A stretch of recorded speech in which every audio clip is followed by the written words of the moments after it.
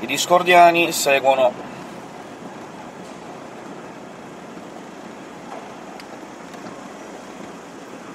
Serve aiuto? Vi serve aiuto? Ho i cavetti per mettere a moto, non so Siamo rimasti fermi ieri sera e quindi... Eh, se, vabbè, perché se vuole ho i cavetti anche un po' più grossi, eventualmente.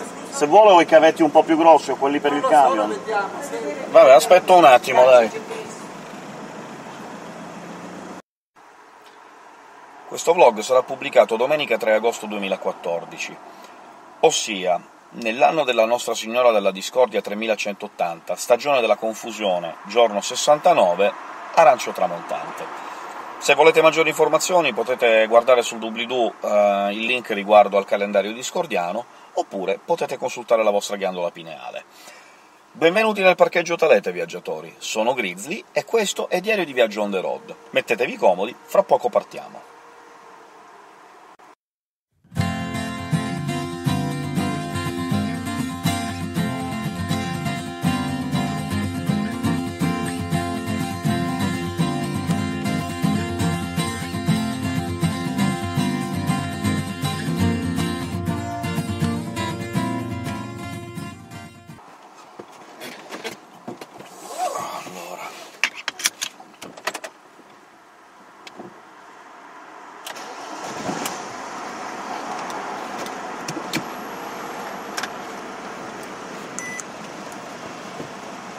Il professor Lucius McIntyre, lo scienziato, l'ufficiale scientifico del brigantino spaziale Ferdinando Magellano, mi riferisco al romanzo L'essenza oltre il buio che abbiamo scritto io e Francesco Candelari, il professor McIntyre, parlando con il comandante Federico Filetti e riferendosi ad Alex Keller, a un certo punto gli dice «Ma non vorrai criticarlo per un pittoresco credo religioso? Tu, per esempio, non sei cattolico?» Il professore non si riferisce al fatto che Federico Filetti sia cattolico, cioè nel senso che sì, lo considera un credo eh, pittoresco, però si riferisce al fatto che Alex Keller, il personaggio del romanzo, è discordiano. Ora, il discordianesimo è un movimento religioso che, pur essendo parodistico, ha comunque quasi tutte le basi di una vera e propria religione, eh, è nato alla fine degli anni 50, fondato da Malaclipsi il Giovane, al secolo Gregory Hill, e da Lord Omar Khayyam Ravenhurst, al secolo Kerry Thornley, e è basato su un'idea. Le religioni e i movimenti filosofici cercano nel mondo il um, perseguono, diciamo, lo scopo dell'armonia e dell'equilibrio.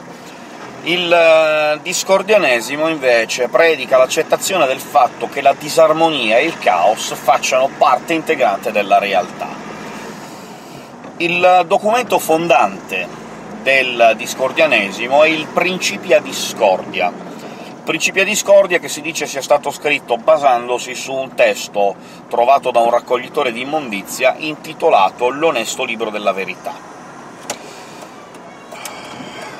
I discordiani credono nella dea Eris, la dea greca Eris, ossia la dea romana Discordia.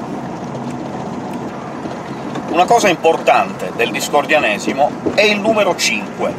È talmente importante che esiste la cosiddetta legge dei 5, che dice, recito a memoria, dice semplicemente tutte le cose avvengono in cinquine, sono multipli di o divisibili per 5, o comunque direttamente o indirettamente riferibili al numero 5 la legge dei cinque non sbaglia mai.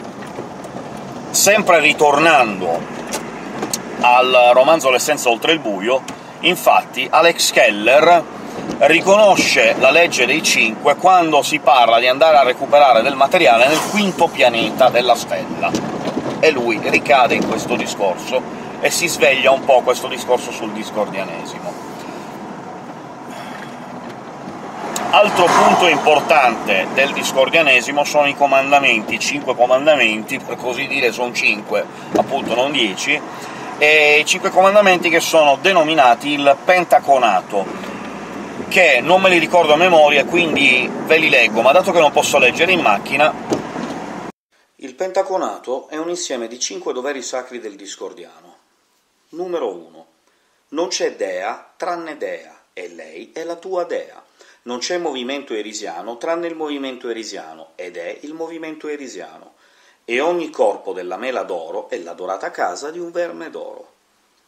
Numero 2. Un discordiano deve sempre usare il sistema discordiano ufficiale di numerazione dei documenti. Numero 3. È richiesto che un discordiano, nella sua fase iniziale di illuminazione, si allontani in solitudine e gioisca nella comunione con un panino con hot dog di venerdì.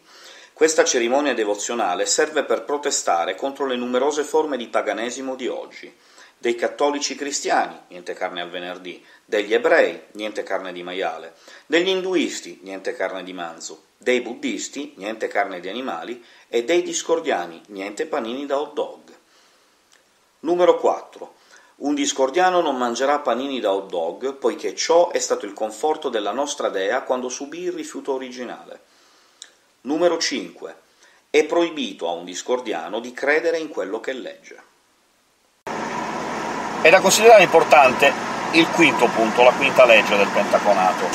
È proibito a un discordiano di credere in ciò che legge. Dà il senso di come sia fondamentalmente una religione parodistica, di come sia una situazione nella quale bisogna combattere il dogma, bisogna eh, considerare che le scritture possono essere sottoposte ad un'interpretazione, e l'interpretazione può essere pesantemente soggettiva, e non bisogna che le scritture costituiscano un dogma. D'altronde molti articoli del Pentaconato eh, vanno per esempio in contrasto fra di loro, come il terzo e il quarto, non si deve mangiare panino con l'hot dog perché è stato un uh, momento di salvataggio da parte della dea Eris, eppure chi si ritira spiritualmente mangerà un panino con l'hot dog.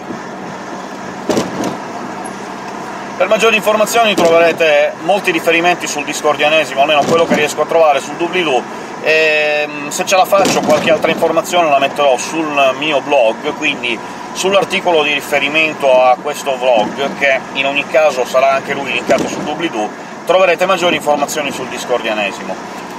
Questi sono vlog molto brevi, perché ho poco tempo, infatti riprenderò a settembre anche a parlare dei canali YouTube, per cui per oggi è tutto, noi ci vediamo domenica prossima, domenica prossima vi parlerò di un'altra religione parodia, e infine concluderò l'argomento parlandovi della mia scelta di coscienza. Ragazzi, questo è tutto. Noi ci vedremo domenica prossima. Se questo vlog vi è piaciuto vi invito a fare pollice in alto, a condividere con gli amici e se non l'avete già fatto ad iscrivervi al mio canale. Potete commentare nello spazio sui commenti, oppure su Twitter o Memi, su Memi fino al 15 settembre, con l'hashtag DDVOTR. Successivamente metterò i link per uh, i prossimi aggiornamenti social. E dunque, fatemi un po' sapere quello che ne pensate, e questo è tutto. Noi ci vediamo domenica prossima. Ciao a tutti e grazie!